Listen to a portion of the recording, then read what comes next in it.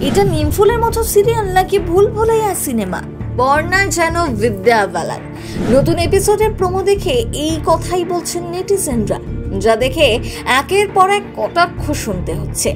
হিন্দি সিনেমাকে শেষমেশ নকল করছে নিমফুলের মতো মঞ্জুরিকার সেই এক সাজ। কিন্তু পর্ণা এমনটা সেজে করবেনটা কি? এরপরে কি হতে চলেছে? শুনুন।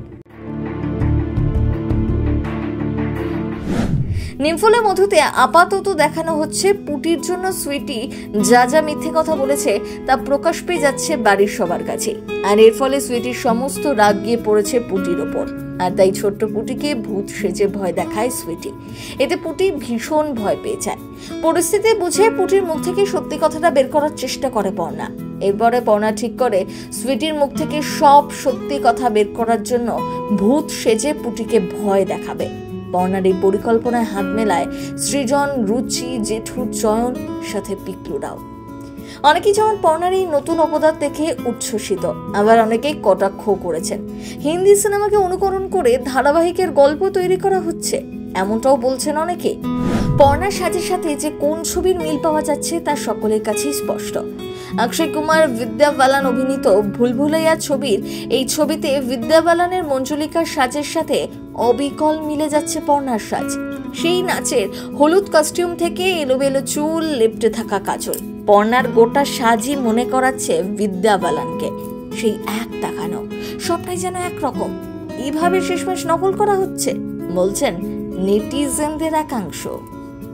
জি বাংলা জনপ্রিয় সিরিয়াল নিমফুলের মধু গল্পে ঘটে চলেছে একের পর এক উদ্ভট ঘটনা। যেখানে দেখানো হচ্ছে পর্ণা, সৃজন সহ দত্তবাড়ির সকলেরই বয়স বেড়েছে, কারণ গল্প দশ বছর এগিয়ে গিয়েছে।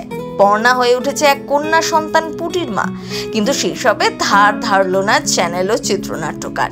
গল্প আবার দশ বছর পিছিয়ে নিয়ে গিয়ে পর্ণাকে ভর্তি করে দেওয়া হলো কলেজে। অথচ কলেজ পাশ করে ইউনিভার্সিটির পড়া শেষ করে পর্ণার কিন্তু বিয়ে হয়েছিল সৃজনের সাথে।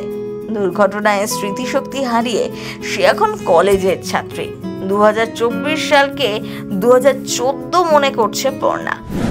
তর্ক করতে করতে পর্ণাকে ছাদ থেকে ঠেলে ফেলে দিয়েছিল বড়জা মৌমিতা। সে এক রক্তারক্তি ব্যাপার। হাসপাতালে জমে মানুষের টানাটানি হয়েছিল। পর্ণা প্রাণে বাঁচলেও দশ বছরের স্মৃতি হারিয়ে ফেলেছে।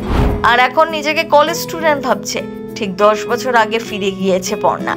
সৃজনের সঙ্গে বিয়ের পর্ব, শ্বশুরবাড়ির লোকেদের, এমনকি নিজের একমাত্র মেয়ে পুটিকেও ভুলে গিয়েছে।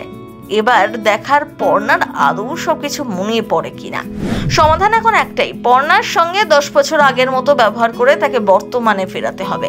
তাই সৃজন নতুন গল্প তৈরি করছে। উত্তর কলকাতার একটি আটপৌরে একান্নবর্তী পরিবারের গল্প দিয়ে শুরু হয়েছিল নিমফুলের মধু। পর্ণা সৃজনের ভূমিকায় পল্লবী শর্মা রুবেল দাসের জুটি মন ভরেছিল দর্শকদের।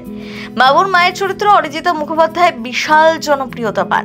বাবুর বাবার চরিত্রে অর্ঘ্য মুখোপাধ্যায়ের অভিনয় দারুণ। ধাসরাম জেঠু থেকে জেঠিমার অভিনয় মন জয় করেছে।